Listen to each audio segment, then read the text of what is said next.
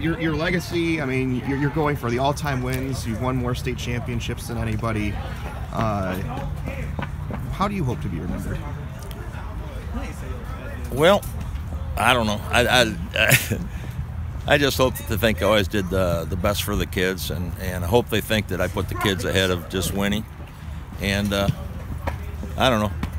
It said it's in the newspaper. Well, he's a nice guy. Well, I like being remembered as a nice guy. You know, I'm not a screamer yeller, and so on. And uh, I just hope they remember that and remember a great uh, a great experience here at Harrison. And I motivate them in other ways. I, I just you got to be yourself in coaching. I found that out a long time ago. You can't try to be somebody else. You can't act like you're uh, Nick Saban if you're not. You know, so I've just always been the same I person. guess you could hope that your athletes take away from your tutelage. What would it be?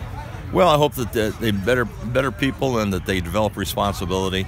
And uh, Coach Sutter, who was with me for a long time, and Coach Hurston now, they always say, "Hey, if you gotta uh, think about if something's right or wrong, don't do it because it's probably wrong." You know. So I hope we lead them that path. I hope they're all successful, obviously, and uh, most will be. There'll be some that that'll maybe fall, but maybe they'll look back at football and say, "Well, it was a great time in my life, and it's something I'll always remember."